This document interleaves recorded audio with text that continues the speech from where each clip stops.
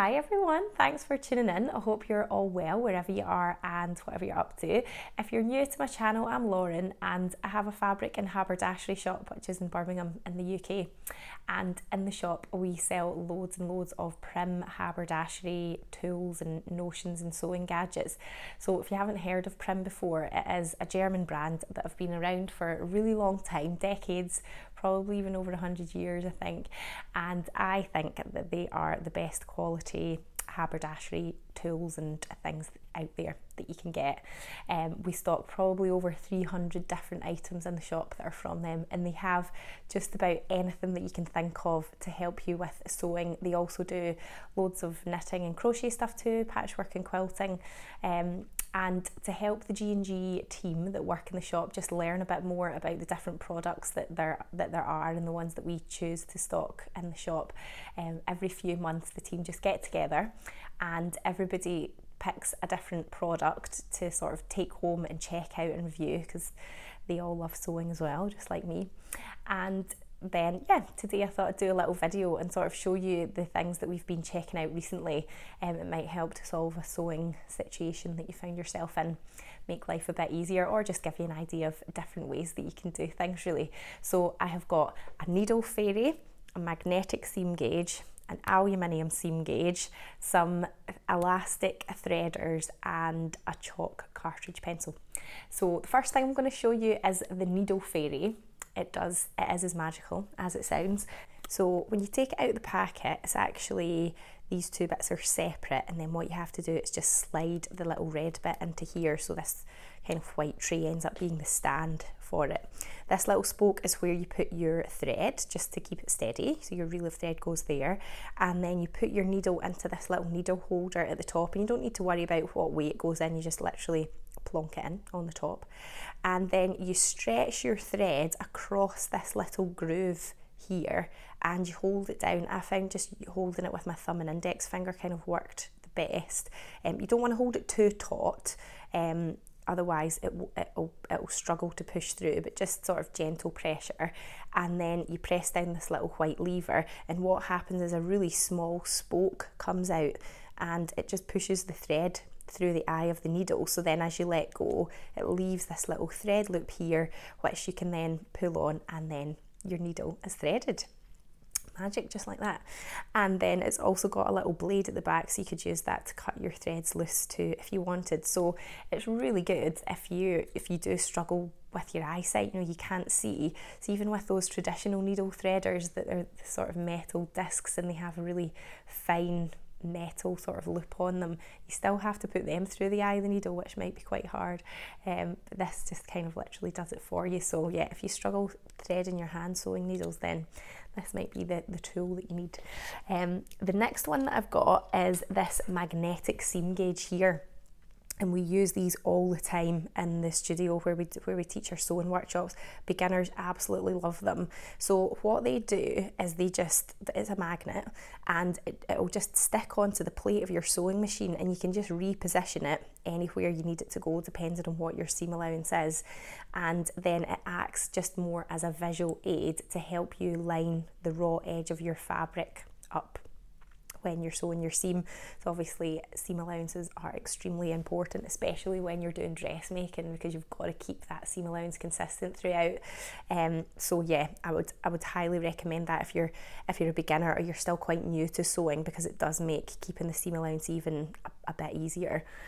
The next thing that I've got is another gauge. This is an aluminium seam gauge and it's really good for just measuring shorter distances.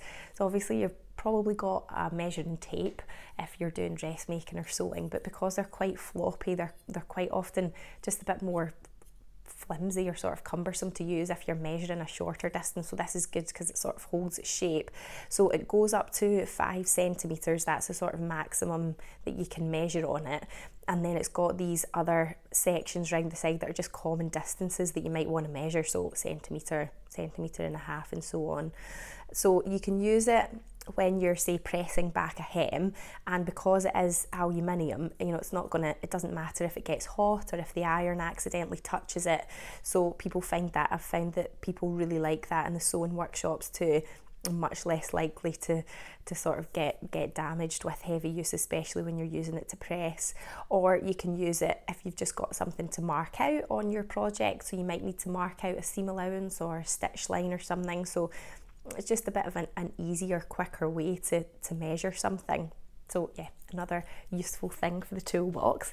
Um, the next thing that I've got is this Prym Love chalk pencil, um, and it is a nice colour as you can see, always helps. And it's got this sort of soft rubber grip on it, so it feels nice and comfy to use. And it basically works like one of those um, traditional sort of cartridge pencils. I remember having these when I was at school. You just click the top and then the lead comes out um, and if you hold it click down you can push the lead back in again. Um, you can get different colours of lead to refill it. So you can get um, a pack that's got grey and pink and yellow in it but it comes with white. And it's just really good for making quite specific sort of sharp markings. So it might be some pattern markings that you've got when you're making dressmaking, sometimes you see little circles or it might be a buttonhole or something.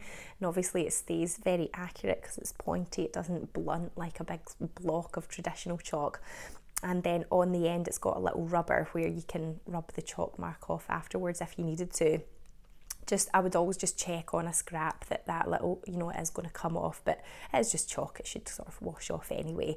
But yeah we've been finding them that people really like them in the workshops as well. They're in the little toolbox that we give to people when they come for workshops. And then the last thing which I feel like has been quite a revelation for me are these elastic threaders. So it comes in a pack with three different sizes depending on the width of the elastic but the way it works is that you basically feed your elastic through the little grooves that are at the end, and these teeth just grip onto the elastic. And then it just basically makes it much easier to feed the elastic through a channel because you've got quite a firm, long, sort of rounded tip to, to feed the elastic through. The more traditional way, of course, is to use a safety pin, but the number of times I've accidentally opened the safety pin and then it's got caught on somewhere and all kinds of nonsense. So, this makes it much, much easier and then yeah depending on the width of your channel you could you could pick what size you use. So yeah I found that much easier to use when I have to feed elastic through a channel. So I hope you found that interesting just give you a bit of an insight into some of the different things that are out there. Um, all of these things you can buy on my website and I'll put a link to my corresponding blog post in the description below um, where you can then see see where to get these products if you've ever come across anything else and you think, I don't really know how to use that or what is that actually for, just leave me a comment below and then I can add it to the list of things that we investigate and report back on in the future. But thanks so much for watching, guys. If you liked the video, just remember to give it a thumbs up. And if you haven't already, just click subscribe so you don't miss out on my next video. Um, next week, I'm going to be sharing all of the new fabrics that we've had in recently in the shop. So I'm really excited about that one. Um, but I hope you have a good week, guys. Thanks. Bye.